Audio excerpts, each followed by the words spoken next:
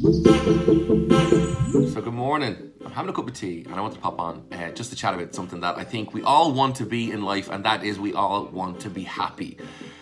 It's the thing that is quite a simple statement but a complex thing to achieve because we don't know what tomorrow may bring and life throws us a lot of stuff and a lot of crap that can cause us to be unhappy at times. But I wanted to talk about something which you do have control over and it's an area in our lives that may need work but when you get it, I suppose, under control, you'll find you might even be happier for it.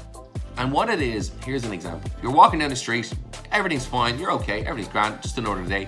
And you go on your phone, you see a post, whether it be on Instagram or somewhere, and you see a picture and someone has got this great body, the body that you'd love to have, but you don't, the car that you've always dreamed of, but you don't have it, or they're on a holiday, or basically someone shares something that you don't have, and they look so happy because they have it, and it makes you unhappy because you don't have it.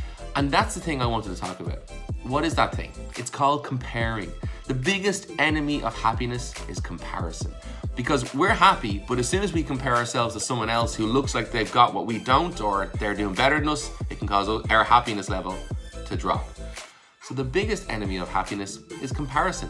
So what can you do to change it? Well, I suppose stop comparing yourself.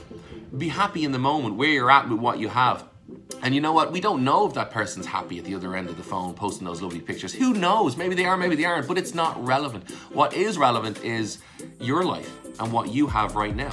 So never compare because people always put their best front out when it comes to online sharing and stuff like that.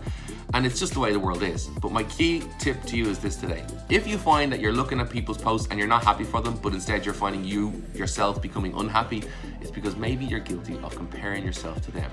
And a little bit less of the comparing, and you might find yourself a little bit happier.